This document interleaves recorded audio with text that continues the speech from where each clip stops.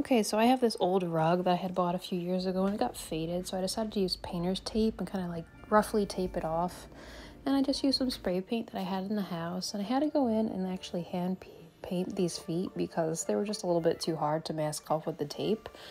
But yeah, this is it at my front door and I love the way it looks and I think it'll be really cute for Halloween this year, so I hope you guys like it.